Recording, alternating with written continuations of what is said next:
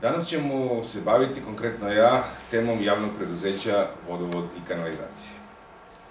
Ja bih najpre želeo da prokomentarišem da je aktualni direktor Vodovoda, gospodin Zoran Nikolić, napunio 65 godina početkom oktobra meseca ove godine i time stekao zakonski uslov za odlazak u penziju.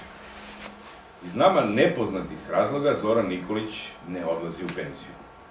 Mi postavljamo pitanje da li je zakon isti za sve i zbog čega predstavnici vlasti imaju privilegiju da izigravaju zakon. Zašto ne reaguju članovi nadzornog odbora i zašto nisu postupili po statutu preduzeća da na vreme bude raspisan konkurs za izbor novog direktora preduzeća, naravno po odlasku Zorana Nikolića u zakonsku penziju. Umesto da poštuje slovo zakona i da ode u penziju, gospodin Nikolić se prihvata partijskog zadatka da bude koordinator SNS-a za sela na takozvanom kružnom putu. On aktivno agituje i koristi nenamenski resurse javnog preduzeća vodovoda i kanalizacija za takozvanu šoder kampanju.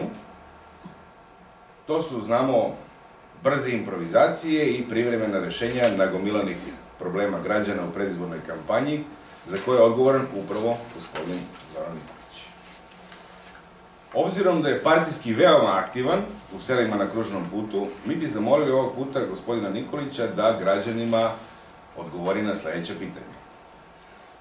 Gde je 2,5 miliona dinara novca građana Krupca, koje je preuzeo sa podračuna odbora za kanalizaciju u Krupcu, podračuna mesne zajednice Krupac, i to nakon završetka kanalizacije, i na šta su ta sredstva utrošena.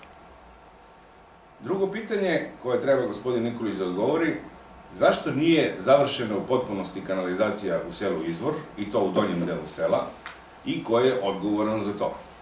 Da li loši projekti, loše planiranje ili loša realizacija same investicije?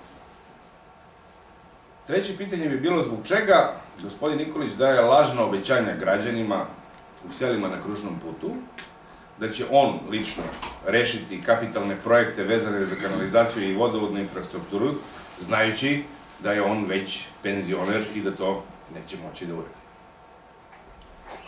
Dosadašnja gradska vlast je obećala i nije ispunila realizaciju dva veoma bitna kapitalna projekta. Prvi je zamena glavnog cevovoda koji dovodi vodu sa izvorišta Krupac, odnosno Krupačkog vrela, u fabriku vode u Berelovcu. Ove cevi, kao što znamo, su azbestne. Obzirom na dokaze da azbestne cevi usled dotrajalosti mogu biti štetne za zdravlje građana, ovaj projekat bi bio prioritet u svakom slučaju za novu gradsku vlast. Time bi se smanjio rizik za zdravlje građana i bitno popravio kvalitet vode koji građani piju. Drugi projekat koji je pompezno najavljivan do sada više puta, a sa čijom realizacijom se nije daleko odmaklo, je prečistač otpadnih voda.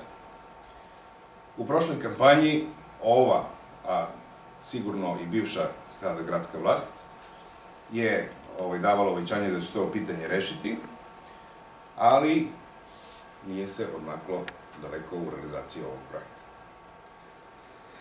Veoma je bitno da Pirot dobije postrojenje za prečišćavanje otpadnih voda po najvišim svetskim standardima, a ne postrojenje u nekoj zastaraloj tehnologiji.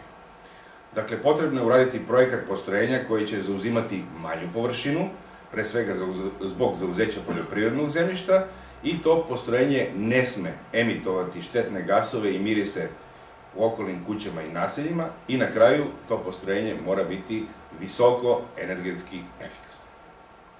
Obzirom da obećanja bivše vlasti nisu realizovana, mi smatramo da je neophodno da buduća gradska vlast promeni kompletnu upravu preduzeća vodovod i kanalizacija, način poslovanja i da aktivno pristupi rešavanju problema građana.